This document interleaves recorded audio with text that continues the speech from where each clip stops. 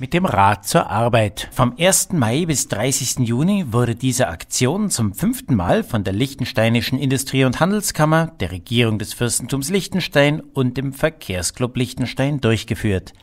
Volksblatt Online war mit dem Rad nach Balzers unterwegs, wo am 24. August unter den 293 Zweierteams Gutscheine im Wert von 12.000 Franken verlost wurden. Einerseits ist es schön, dass so viele Leute mitmachen und andererseits freue ich mich persönlich, weil ich sehr viele kenne, die da mitgemacht haben, völlig zufällig. Ein ehemaliger Lehrling von mir beispielsweise. Ich bin natürlich auch mit dem Velo unterwegs, aber ich habe so Ringe, ich muss es sagen. Ich wohne in Vaduz und ich arbeite in Vaduz. Also das heisst, dass ich bei wüstem Wetter gehe zu Fuß. Ich bin aber nicht so eine Schlechtwetterradlerin, ich radle lieber eher, wenn es schöner ist. Und bei gutem Wetter gehe ich immer mit dem Fahrrad. Und das kommt nicht nur der Verkehrssituation und der Umwelt, sondern auch der Gesundheit zugute.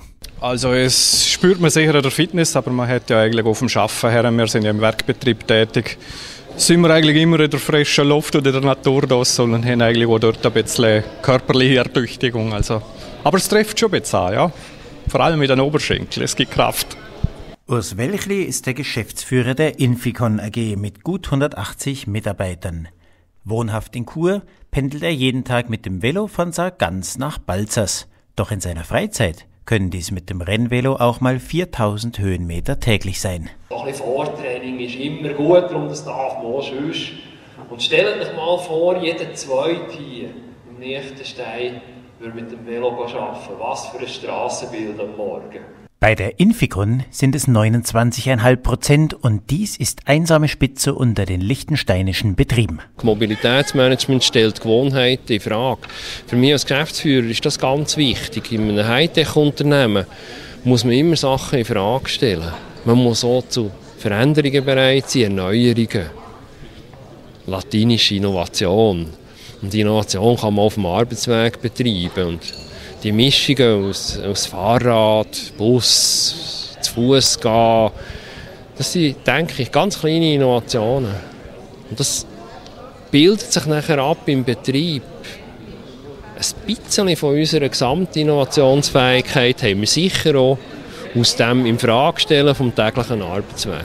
Früher war es Georg Seele, der sich bei der Inficon fürs Velofahren stark gemacht hatte, trotz aller Bemühungen. Der motorisierte Verkehr in Liechtenstein wächst. Noch. Der Verkehr, der motorisierte Verkehr nimmt nicht Gott gegeben zu. Er nimmt zu, weil unsere Politik eine Struktur schafft, die der motorisierte Verkehr begünstigt. Denken wir an, die erste Etappe von Nordumfahrung Schad, der sogenannte Industriezubringer.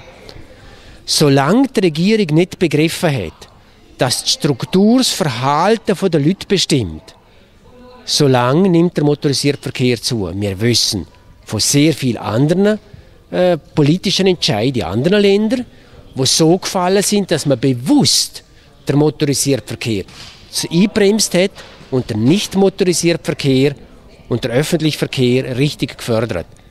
Die größten Steuerungsmöglichkeiten haben freilich die Betriebe selbst. Ein Beispiel Duschen und Handtücher am Arbeitsplatz, aber auch kostenpflichtige Parkplätze für die Autos der Beschäftigten. Und darum kämpfen wir vom VCL aus für die richtigen Rahmenbedingungen, auch im Hinblick darauf, dass wir wissen, dass fossile Treibstoffe knapp und teuer werden.